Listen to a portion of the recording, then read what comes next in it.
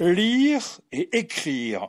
Deux mots complémentaires dans la vie, mais très éloignés dans leur origine, même s'ils utilisent le même alphabet.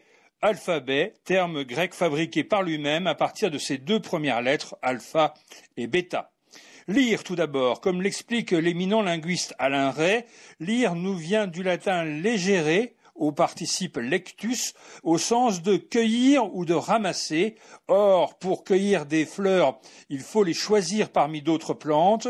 De même, on cueille par les yeux, en latin legere oculis, quand on distingue les lettres les unes des autres, et le résultat, quand on sait à quel mot elles correspondent, c'est la lecture, lire, cueillir les mots avec les yeux.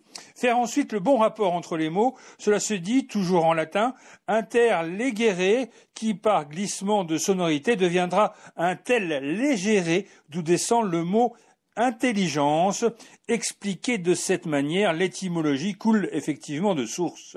Le mot écrire ensuite lui descend du latin scribere, tracer des signes, mais venant de mots plus anciens qui signifiaient gratter, faire des traits dans la pierre, époque où l'écriture était gravée dans le roc, comme pour bien marquer l'importance du message qu'elle véhiculait.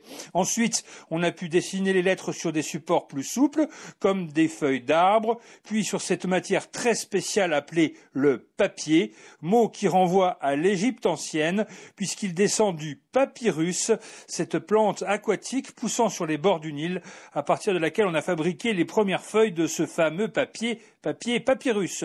Belle histoire donc celle de ces mots, lire, écrire, intelligence, alphabet ou papier, arrivés jusqu'à nous par glissements successifs, et qu'Alain Ray, le père du dictionnaire Le Robert, s'est si bien raconté.